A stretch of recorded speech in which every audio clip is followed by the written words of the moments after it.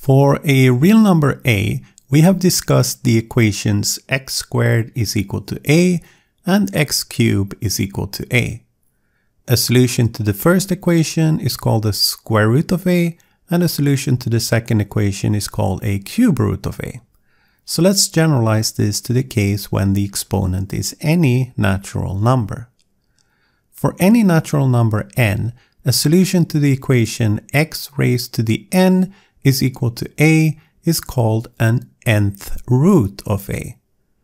We know from previous discussions that the case n is equal to 2 is quite different from the case n is equal to 3.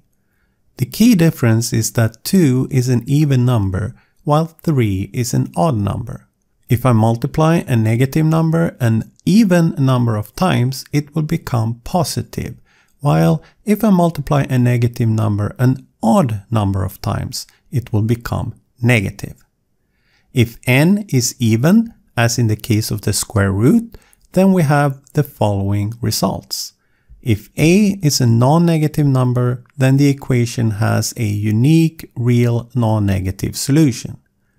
If a is negative, then the equation has no real solution.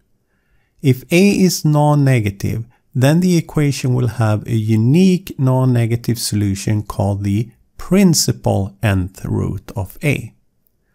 We use the following notation for the nth root of a.